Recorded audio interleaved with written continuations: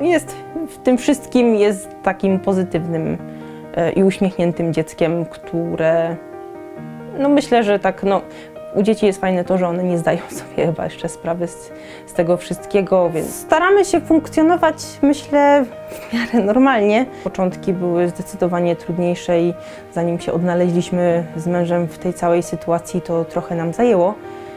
No ale teraz myślę, że jakoś dajemy, dajemy radę. Rozszczep kręgosłupa jest ciężką wadą wrodzoną, która dotyczy układu nerwowego, ale z uwagi na swój charakter e, ma olbrzymi wpływ na e, funkcjonowanie całego dziecka. E, problemy, które wynikają z tej wady dotyczą bardzo wielu układów. Układu moczowego, układu pokarmowego, układu kostno-stawowego, czyli ten pacjent jest pacjentem, który przez całe życie będzie musiał się borykać z wieloma różnymi problemami. Najtrudniejszym momentem dla rodziców jest najczęściej z naszego doświadczenia i z mojego osobistego też, jest ten moment pierwszy informacji o tym, że Państwa dziecko będzie miało rozszczep kręgosłupa. E, I wtedy bardzo ważne jest, żeby znalazł się człowiek, znalazł się, znalazła się osoba, organizacja, miejsce, zespół, który może powiedzieć nam, co tak naprawdę nas czeka i jakby te ogromne problemy sprowadzić do rzeczywiście adekwatnych kształtów i wymiarów.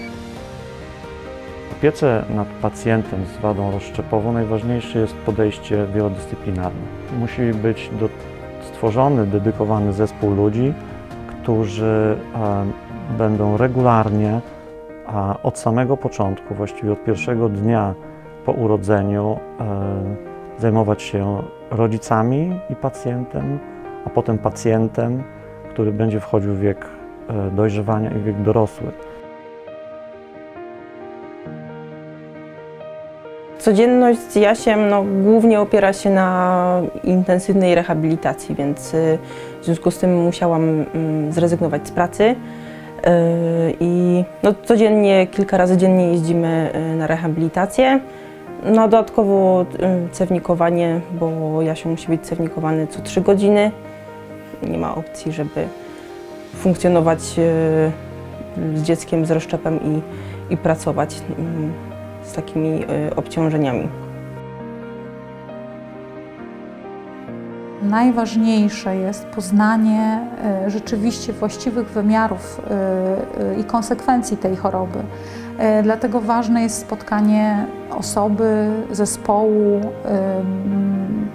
specjalistów, Y, którzy mogą nam to przekazać, mogą nas wesprzeć w tym momencie, bo doświadczenie nasze w Fundacji, w pracowni Spina pokazuje, że jeżeli rodzic otrzyma wsparcie w tym momencie, to jest w stanie w bardzo y, konkretny i sensowny sposób podejść do tej, y, do tej diagnozy i do poprowadzenia dziecka. Nie traci czasu wtedy na niepotrzebne martwienie się, zamartwianie się rzeczami, które być może nigdy w przypadku tego konkretnego dziecka się nie zdarzą. E, I taki program SOS dla rozszczepu kręgosłupa jest e, wprowadzany w fundacji i proszę mi wierzyć, jest bardzo, bardzo dużo zgłoszeń. Chcielibyśmy Jasia posłać do przedszkola. W lipcu skończy 3 lata, więc jak najbardziej. I zależy nam, żeby uczęszczał do przedszkola publicznego, e, żeby się nie czuł e, inny.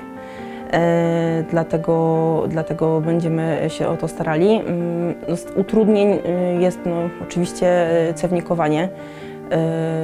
Takie przedszkola nie mają pielęgniarek, które na przykład mogłyby to robić, więc tak czy siak trzeba do przedszkola co te trzy godziny się wybierać.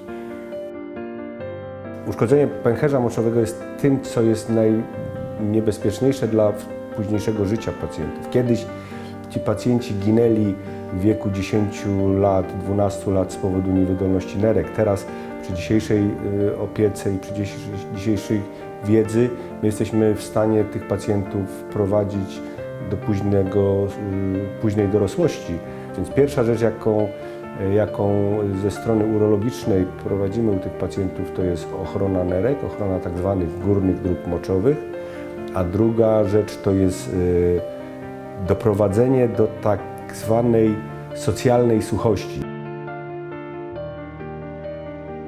Problemy urologiczne u pacjentów z wadą rozszczepową wysuwają się w którymś momencie życia na pierwszy plan.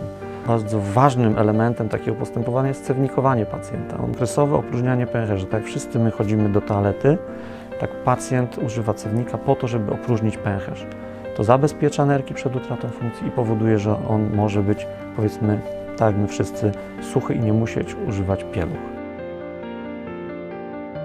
Jeżeli y, mamy bardzo specyficzne jednostki chorobowe, gdzie pacjentom nie możemy pomóc przyczynowo, a taka jest prawie 90%, 90 ponad 90% chorób rzadkich, że nie mamy ani leków skutecznych, ani nie możemy pomóc w sposób chirurgiczny ostatecznie, to znaczy wyleczyć tego pacjenta, to y, ci pacjenci są skazani przez całe życie do y, prowadzenia i opieki, która czasami jest banalnie prosta z punktu widzenia opiekuna. To jest na przykład cewnikowanie, to jest na przykład umiejętność samego prowadzenia przez samego rodzica, potem przez same rosnące dziecko, a potem przez dorosłego. To jest jeden z podstawowych wskaźników, który będzie wpływał na jakość życia. Po pierwsze dostęp do różnego rodzaju, pytanie jakiego rodzaju wyrobów medycznych, a dwa komfort tego, że można to prawda, przeprowadzić w relatywnie niskich kosztach. Cewnikowanie jest na początku przeprowadzane przez rodziców, tak jak powiedziałem, w domu i tutaj y, rodzice mają cewniki, mają cały zestaw, który jest w obrębie, e, który mają w swoim w pokoju, gdzie dziecko, gdzie dziecko przebywa.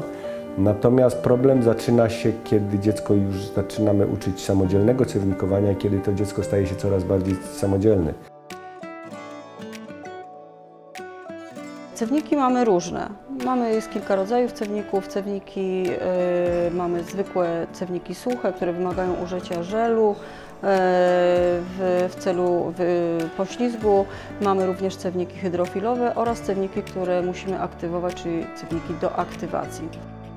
Chcemy, żeby, to, żeby cewnikowanie było jak najbardziej bezpieczne, ponieważ cewnikujemy cewkę kilkakrotnie w ciągu dnia, więc zawsze istnieje ryzyko powstania zmian w obrębie nabłonka, y, mikrozranień, jakichś obrządzeń. E, Dlatego staramy się, żeby y, było, cewnik był jak najlepiej nawilżony, jak najlepiej tym środkiem poślizgowym y, posmarowany. Y, Taki cewnik, który je ma to już jakby w komplecie, y, pozwala na, na szybkie cewnikowanie i bezpiecz, bezpieczne cewnikowanie. Korzyści z korzystania z tych nowoczesnych, powlekanych, hydrofilowych e, czy hydrożelowych cewników. Przede wszystkim e, komfort używania. To jest jeden cennik, który e, można zwinąć i schować w kieszeni i nikt o tym nie wie. A drugim jakby aspektem jest łatwość użycia. Ale to po się go wyjmuje, wsuwa się go przez cewkę moczową, ewen- ewentualnie niektórzy przez tak zwaną przetokę skórno-pęcherzową, taką sztuczną, wytworzoną chirurgicznie e, jakby upuszczają ten mocz, który jest w pęcherzu moczowym, wyrzucają cewnik. Trwa to naprawdę 2-3 minuty i to jest po sprawie. Powiem, że korzyścią jako mnie jako lekarza jest e, udowodniona mniejsza ilość zakażeń płynu moczowego. Dziennie Jasio jest y, cewnikowany 7 razy. No, łatwiej byłoby móc używać y, tych y, cewników hydrofilowych. Zdecydowanie jest to łatwiejsze z nimi. Są one mm, raz, że wygodniejsze. I no, ułatwiłoby to choćby Jasia chodzenie do przedszkola. Zadowolony pacjent to jest tak naprawdę dla nas największa nagroda. Osiągnięcie przez nich samodzielności jest niezwykle przez nich artykułowane. E, Naprawdę potrafią wdzięcznie wyrazić to, że poszli sami do teatru, że byli sami w szkole, że wreszcie mogli sami gdzieś pójść i, i, i byli zadowoleni i, i nie musiała im towarzyszyć ciągle mama e, czy tato i że mogą funkcjonować tak, jak wszyscy my funkcjonujemy, czyli samodzielnie. I to jest dla mnie najważniejsze i najbardziej cieszę się, kiedy jestem w stanie z pacjentami to osiągnąć.